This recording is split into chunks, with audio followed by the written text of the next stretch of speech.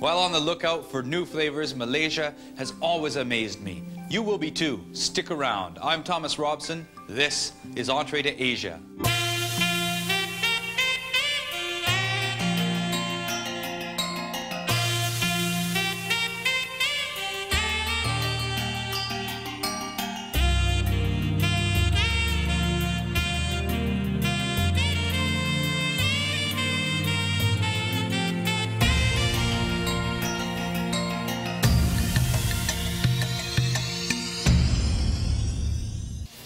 Been to Southeast Asia many times, and when I come back home, my friends invariably ask me, How was my holiday?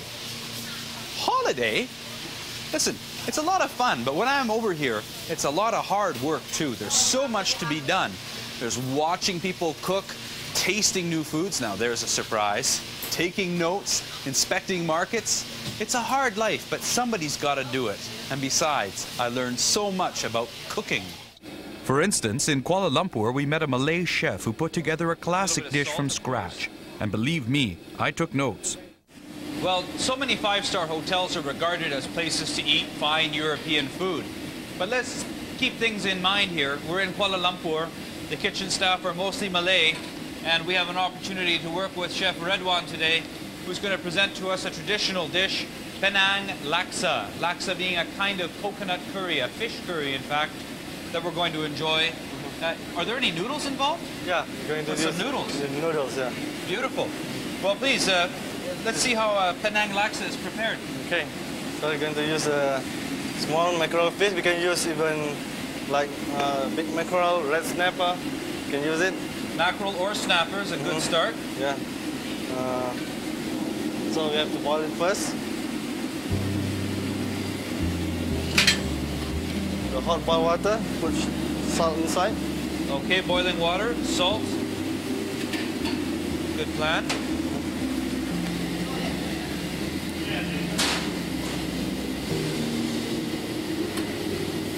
So in go these beautiful mackerel. The more you put the uh, fish inside, the more the flavor of the laksa tastes better. So we need a good strong fish flavor from this. And you mentioned earlier that uh, we could use snapper just as easily as, uh, as mackerel. Uh-huh. We're going to boil it until uh, the flesh of the fish become more soft because we're going to blend it. Okay.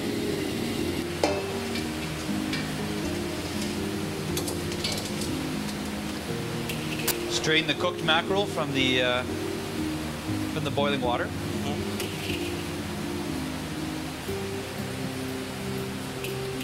And keep this water for fish stock. This will be our stock then. Uh-huh. Great.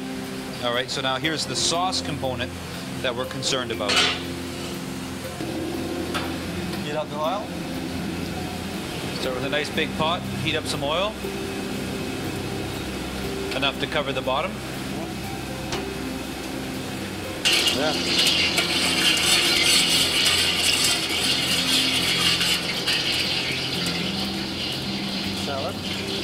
Ground shallot onion. Finely chopped shallot onion.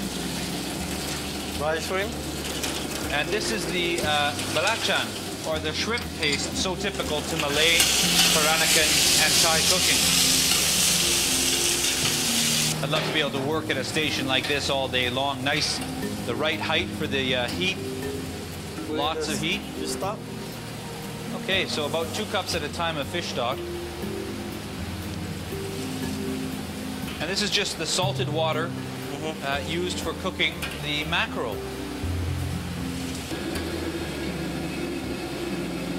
It is sliced onion. sliced white onion. This is a slice of tamarind fruit. And normally we only see the small pods, but it grows to quite a large size.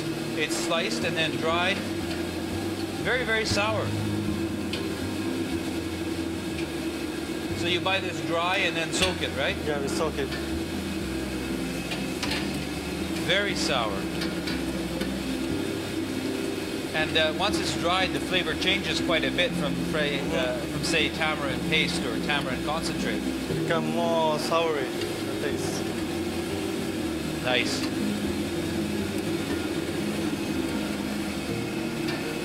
Kesum leaf.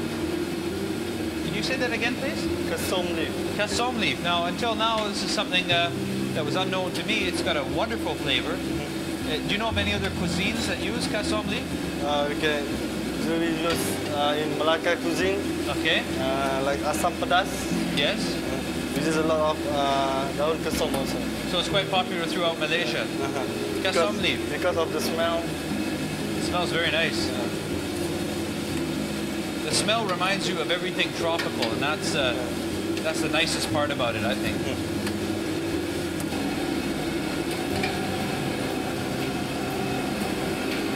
Put some of the flower. These are ginger flowers. Now that's something that might be a little bit tricky to find at home. I hope we can find those perhaps in a dried state. So we But- can we can substitute with like uh, lemongrass. Okay, lemongrass is a good substitute. There we have it.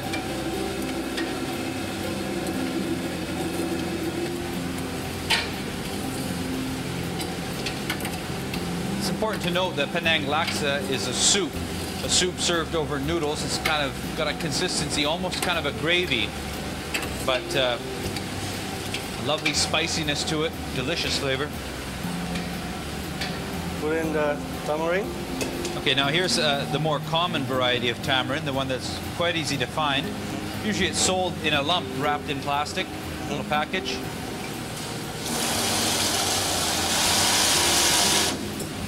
Add some water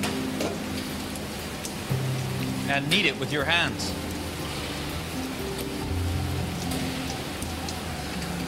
inside the pot. So washing the juice from the tamarind pulp.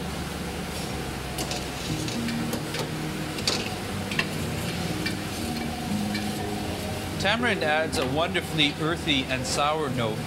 And in this case, it'll be quite interesting because we have the mature slices of dry tamarind fruit and now uh, the pulp from the young tamarind fruit, which is a good deal sweeter than the older one. And a different flavor because it's fresh, not dried.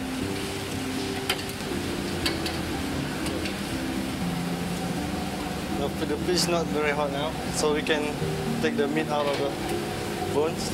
Perfect. This is the part that takes time.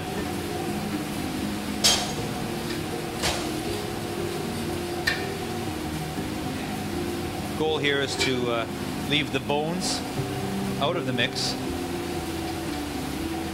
Just use the fish meat to garnish the soup with. Okay, so now the painstaking process of separating the meat from the bones has been done, but there's another step to follow, and that is carefully mincing the meat into a fine puree. It's a modern age now, so no longer will we chop it with knives laboriously. We'll send it off to a blender and puree it up nice and finely to give the, the laksa a better texture.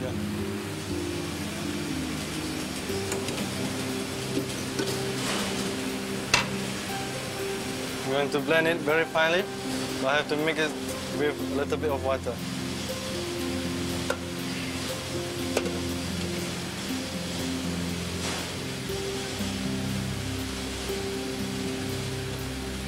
Now, get the puree just the right consistency, a little bit of water is added to the fish. Many people have a, a robo culinaire or a cuisinart, as so many people call them. Food processor is the proper term. That's uh, the way you want to finely mince this. And with a modern machine like this, it only takes a moment. Done?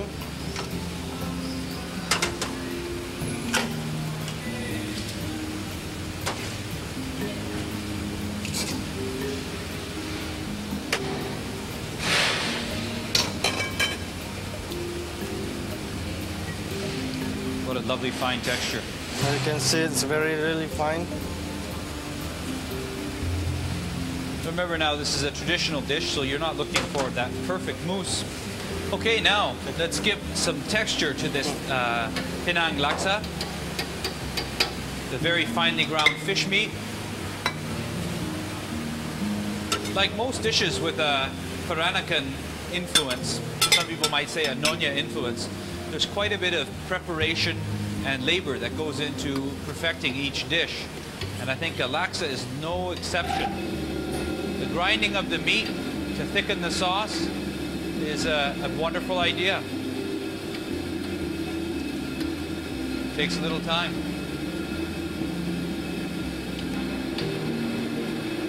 Bring the soup back to a lovely warm temperature and we're almost ready to serve.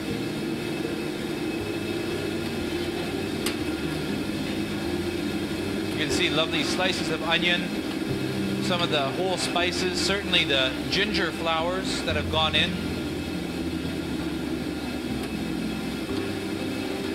To make it more taste better, we put some more chili inside. Well, let's put some chili inside. So we put a A salt. little bit of salt, of course. Not too many, because the stock of the fish. Right, this the salted. ocean fish has its own natural salt, so we don't want to go too aggressively with the salt.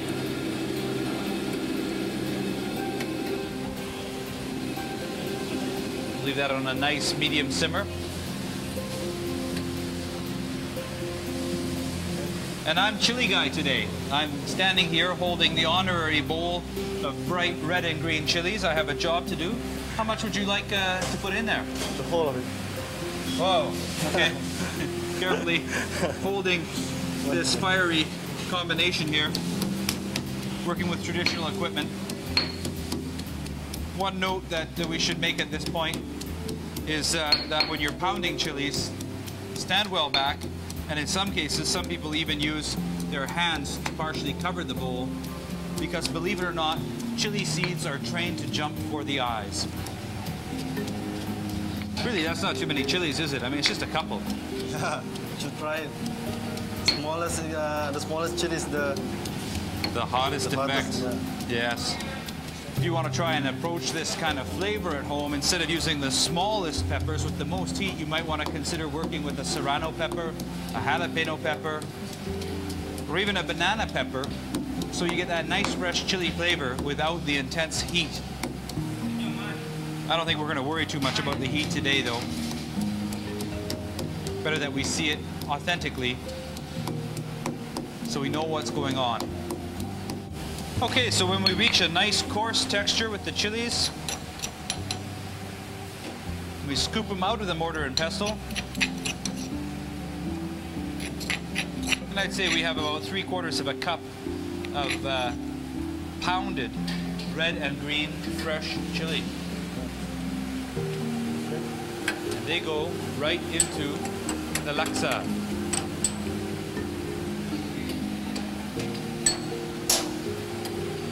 Hot la.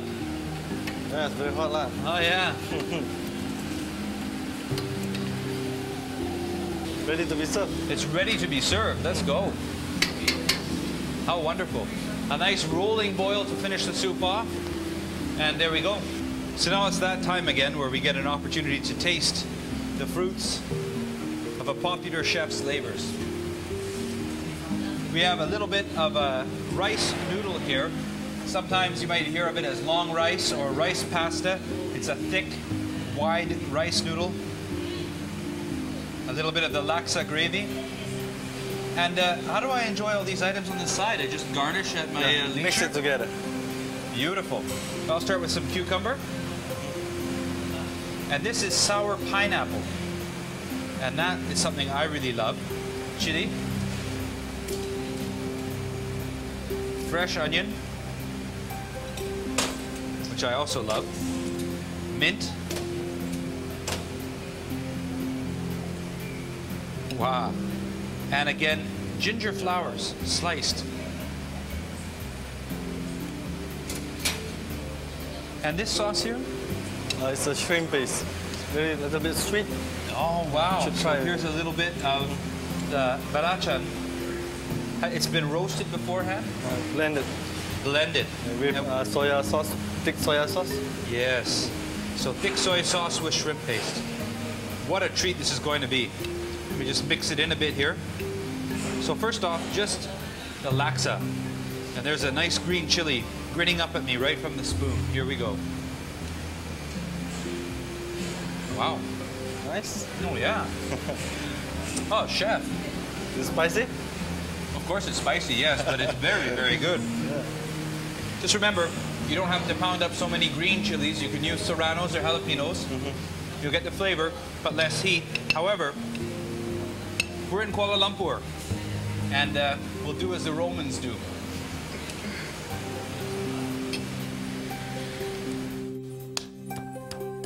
What on earth am I doing? Well, I'm making a rempa, or a seasoning paste, for a dish that's not unlike the one that Reduan made for us. Instead of making Penang laksa today, we're going to make a nice curry and noodle dish with shrimp in it. And I'm making the seasoning paste, and right now I'm pounding kemiri nuts. Now here are kemiri nuts, and they're also known as candle nuts. It's important to note that they add a delicious flavor and a rich, thick consistency to a curry dish, but you shouldn't eat them raw. They must be cooked. So keep that in mind if you find some Kemiri nuts. And if you can't find them for making a rempa, well, use macadamia nuts instead. And we all know that those are perfectly fine to eat any time of the day. My rempa is ready to use, but let's have a look at what went into it, shall we? I have some fresh red chilies, some lemongrass, shallot onions, garlic, ginger, galanga root, and turmeric. The last ingredient I added just before the Kemiri nuts was some shrimp paste. And down here in front, I have a couple of examples of shrimp paste, one that's Thai, one that's Malay, and they look quite similar. What I have there is about two teaspoons measured out, and they were pounded in and mixed in to this lovely rempa. Now, let's just gather everything together. I'm going to need a little spatula. And I have one right here. And you see the volume of the rempa here. Well, this really builds up the texture and, of course, adds a great deal of flavor to the curry dish I'm about to make. Let's just move over to the cooking area and have a look at what else we'll need to prepare this dish. I've got a nice heavy-duty, uh, thick-bottomed pot that'll do the job. I've got some coconut milk and I have some really nice big prawns. You could use any kind of seafood. A mix of different kinds of seafoods would be really delicious. We'll get the pan going. We'll add a little splash of oil. Several tablespoons full will be enough. I would say, oh, there's two, two and a half tablespoons full. And we'll pick up the old Rempa grinder here, and I'm going to dump all this into the oil so that we can get all the aromatic flavors of the Rempa into the oil so that they stay in the dish. This pre-cooking with oil is essential in Southeast Asian cookery.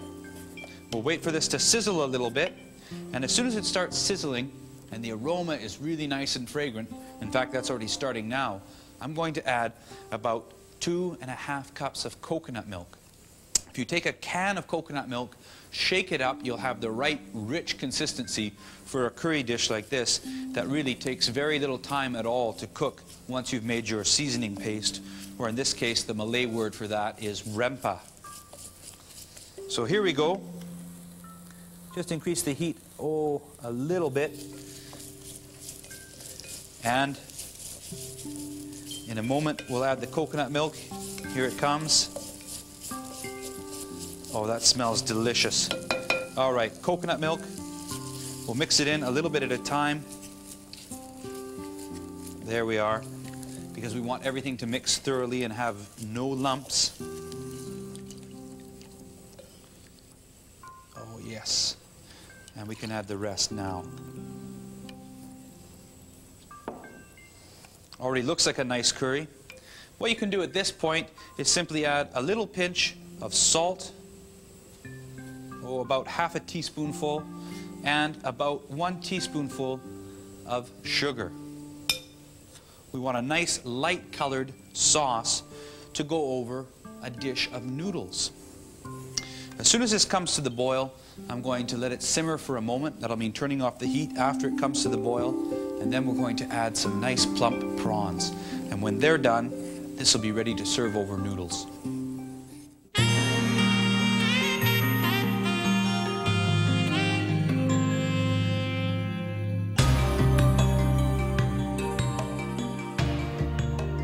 Day 12. Markets such as these had their beginnings centuries ago. And even though few of the popular explorers of the time ever made it as far south as Kuala Lumpur, traders of the immediate region did a brisk business. Instead of watches, CDs, software, and food, there was silk, spices, jewelry, and food. There's always food. Markets like this were a crossroads where adventurers and traders alike met and traded both merchandise and stories. Today, a comfortable walk around here any night of the week, and you can still hear stories from all corners of the world. The merchandise may have changed over the centuries, but it seems as though little else has.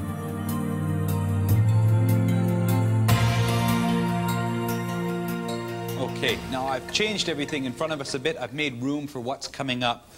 Our curry has been simmering for a few minutes and it's gotten quite thick and lovely, but we want a soup-like consistency. So the very next step is to add some stock. I have a nice light chicken stock here. We're going to add, oh, about a cup to two cups. I think that's what we got right there. Perfect. I'll put this down and we'll increase the heat, bring this up to the boil quickly. There is the perfect consistency for our curry sauce for noodles. And now we're going to add in the shrimp, well, the prawns. I shouldn't mix those two up. So here they are, nice big prawns from warm water Thailand going into there. And I'll put my spoon back here and I'll put the lid on just a bit so that those will cook through the proper way. Now we're talking about noodles, so let's come over here to the cooking station where I have some boiling water ready to go for cooking some noodles. Now I'm going to use some wonton noodles today, and what a wonton noodle is, is it's simply a thin Chinese egg noodle. Here's what they look like when you buy them dry in the store. This is a great way to use them. They take a very short time to boil, and I'd like to note, do not salt the water when you cook this kind of egg noodle, or they become too rubbery and tough. Right here I have a bundle of the fresh egg noodle. You can find those in the refrigerator section of an Asian market, and they're becoming very, very popular. And what's good is they're really quick to cook. So let's cook those now. Get the monster chopsticks going and we'll just scoop these into the water and then we'll break them up. Make sure we got a nice high heat going. And these won't take a moment to boil. While they'll cook, I want to go back over and check on the shrimp in the other pot, make sure that they're doing very well. And yes, things are coming to the simmer. The shrimp are starting to change color.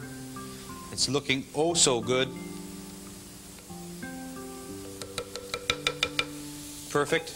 I can hear my noodles cooking. We'll reduce the heat a little bit here and we'll give these a nice stir. Everything's coming along as it should. Our noodles are about done now. These take very little time to cook. And there we have it. I'll turn off the heat.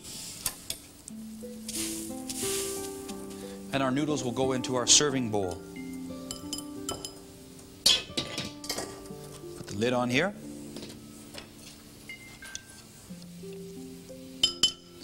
Fantastic.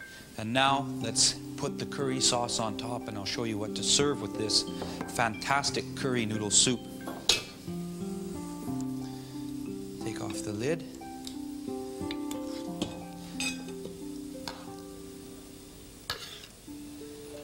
And we'll scoop out some of these delicious prawns. Here we go. Arrange them on top of the soup. Beautiful. And now some of the broth. Just enough to moisten the noodles. You don't really want everything swimming in soup at this point.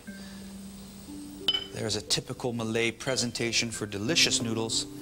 And what you'll want to serve alongside of this delicious curry noodle soup with prawns is some freshly sliced shallot onions, quarters or eighths of lime to squeeze on top, fresh bean sprouts to tuck in along the side and eat along with the soup and noodles, and of course for the heat, some nice fragrant chili flakes that you can scatter all over the top. And there you have it, a delicious curry mee or Malaysian curry and noodle soup. Today we've made it with shrimp.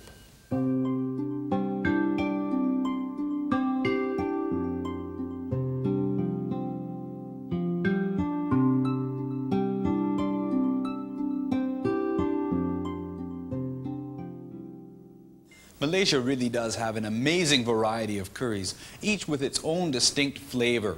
We'll have more great recipes coming to you next time on Entree to Asia. I'm Thomas Robson. To find out more about Entree to Asia, including recipes and program descriptions, visit our website at www.entreetoasia.com.